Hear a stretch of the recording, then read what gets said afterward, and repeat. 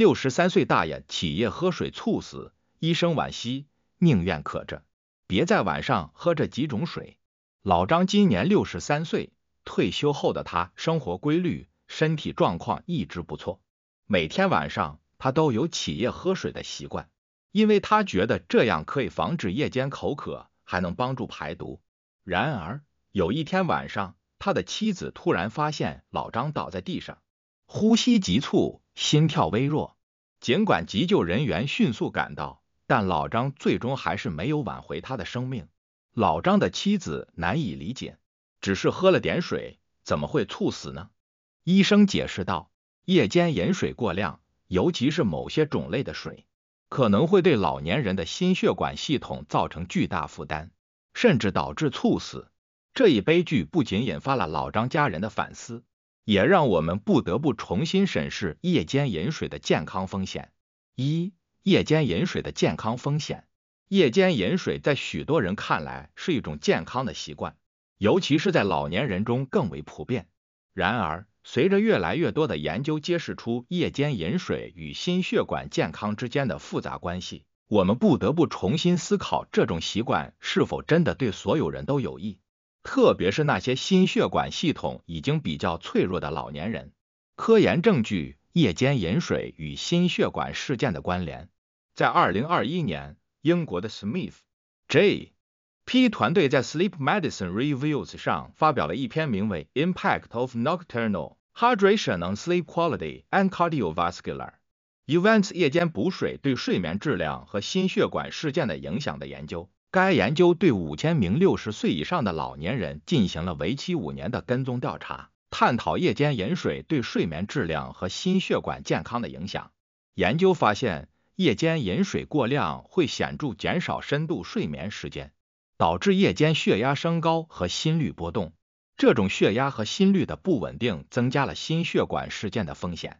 研究数据显示。夜间饮水过量的参与者中有百分之十五的人在研究期间经历了心血管事件，而这一比例在夜间适量饮水和不饮水的群体中显著较低。实验部分进一步证实了这一点。研究团队邀请了五十名健康的老年人进行实验，发现夜间饮水组在起夜后的十五分钟内，心率和血压出现了显著波动。部分参与者甚至出现了短暂的心律失常。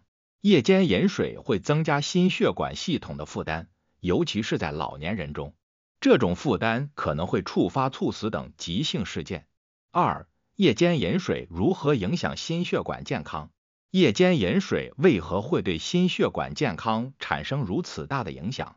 首先，人体在夜间通常处于一种休息状态，心脏的负荷较轻。血压和心率也相对较低。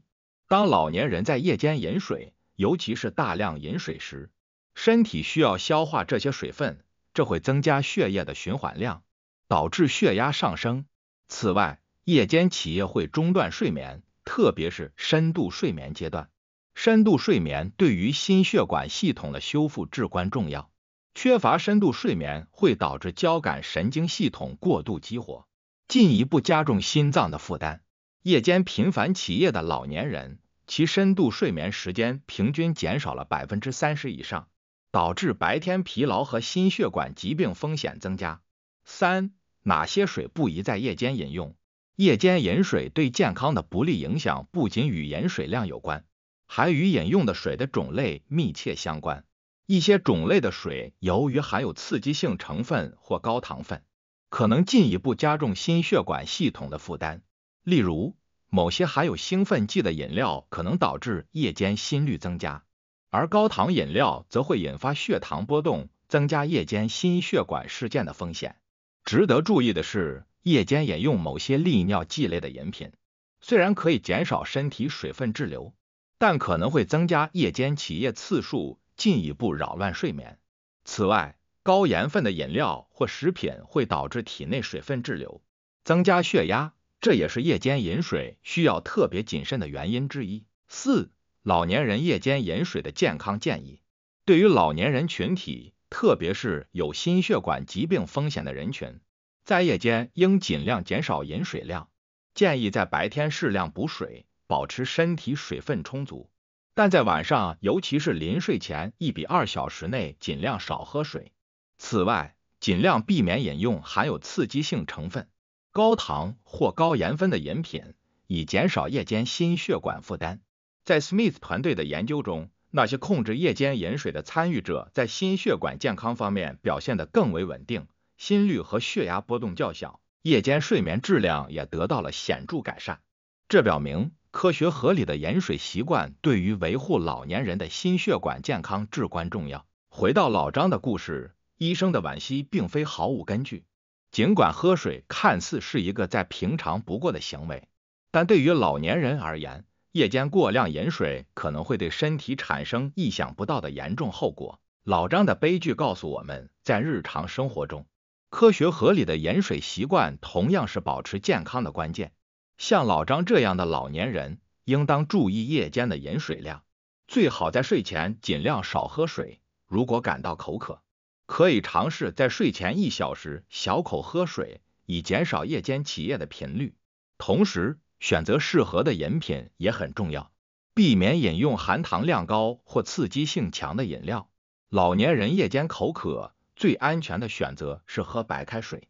白开水不含任何添加剂。能够补充身体所需水分，而且不会对身体造成负担。